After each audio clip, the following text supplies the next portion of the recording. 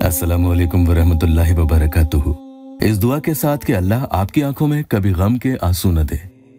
या अल्लाह website official YouTube channel पर, जो वजीफा आपको मैं बता रहा हूँ, इसके बारे में एक किताब में शेख अल गबवी से रिवायत है। बहुत पढ़कर ढूंढा, तब जाकर आपके लिए ये बहुत ही खास ताकतवर अमल निकाल कर लेकर आ पाया हूँ। शेख अल गबवी ने जो लिखा है उसका मफहूम मैं आपको बता रहा हूँ कि जिसने बताए गए तरीके के मुताबिक इस अमल को कर लिया तो अल्लाह के फजल से उसके हाथ के आखिरी उंगली के खुलते ही वो इंसान आपके कब्जे में होगा। वो इंसान जो अभी आपके बस में नहीं है, आपके काबू से बाहर जा चुका है। अब आप जैसा उसे कहते हैं, वो उसका उल्टा करता है। आप तो उसके लिए सब कुछ करने को तैयार हैं, लेकिन वो ही खुद इस कदर तकबर में चूर है कि वो आपकी एक नहीं सुनता।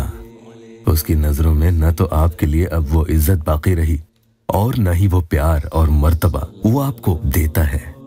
अल्लाह के हुक्म से इसके ज़रिए आप वो सब जो आप खो चुके हैं, फिर से हासिल कर पाएँगे। जैसे हुक्म का गुलाम और इशारों पर नाचने वाला इंसान होता है, वैसे हो जाएगा। इधर तो ये पाँच उंगलियाँ आपकी बंद हुई और उधर यूँ समझ लो कि वो इंसान आपकी मुट्ठी में होगा। तो बहुत ध्यान से पूरा तरीका सुन लीजिएगा। वशीकरण का ये अमल होता है। बावजू किसी भी वक्त अकेले में ही कहीं कमरे में आप या घर की छत पर ही कहीं आप ये वजीफा पढ़ने के लिए बैठ जाए, एक ही दिन कर लें तो काफ़ी रहेगा। लेकिन किसी को आगे लगता है कि मैं इसकी कुत यानी पावर बढ़ाना चाहता हूँ तो उसके लिए दूसरे तीसरे दिन और भी पढ़ना चाहे तो वो पढ़ ले। इसमें कोई रोक टोक नहीं है। अगर आपने इसे जायज़ नियत के पूरा होने के लिए किया तो इनशा ताला इसका कोई नुकसान भी नहीं होगा। एक बार एक इंसान के लिए करेंगे, दूसरे इंसान के लिए करना चाहते हैं तो दूसरी बार आपको फिर से पढ़ना होगा। पाक साफ़ लिबास में ही पढ़ेंगे, सबसे पहले उस इंसान का खूब अच्छे से तस्वुर करें, जिसे अपनी मोहब्बत में आप अपने काबू में करना चाहते हैं। अगर तस्वुर यानी ख्याल करने में मुश्किलें आए तो उसकी किसी बात को सोचें। फिर ये काम आसान हो जाता है। फिर आप अपने दाएँ यानी सीधे हाथ की सबसे छोटी उंगली से ये अमल करना शुरू करेंगे। वीडियो में भी आप देख सकते हैं, पढ़ेंगे, या अल्लाह। और फिर अपनी चिट्टी यानी सबसे छोटी उंगली जो आपके सीधे हाथ की है, उसे ये कहते हुए बंद कर लेंगे।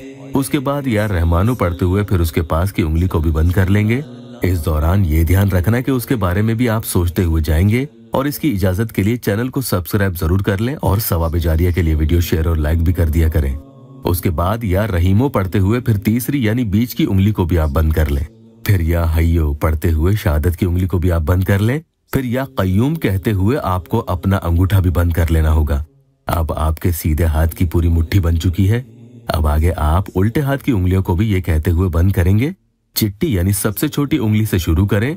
पढ़ेंगे या समी ओ और इसे बंद कर लेंगे। पढ़ेंगे या बसीरो, फिर उसके पास वाली उंगली को बंद कर लेंगे। फिर पढ़ेंगे या अलीमो फिर बीच वाली उंगली को बंद कर लेंगे। उसके बाद यहाँ आप थोड़ा वक्फा देंगे और रुकेंगे। और उसके चेहरे का तस्वुर थोड़ा और मजबूती से करते हुए पढ़ेंगे या वदूदो।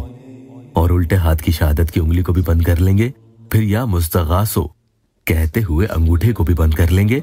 अब आपने अपने दोनों हाथों की मुट्ठी को बंद कर लिया है। उसके बाद अपनी आँखें बंद करें और एक बार उस इंसान का नाम अपने मन ही में लेंगे और आगे दाएँ यानी सीधे हाथ से फिर से वैसे ही चिट्टी उंगली यानी छोटी उंगली से खोलना शुरू करेंगे।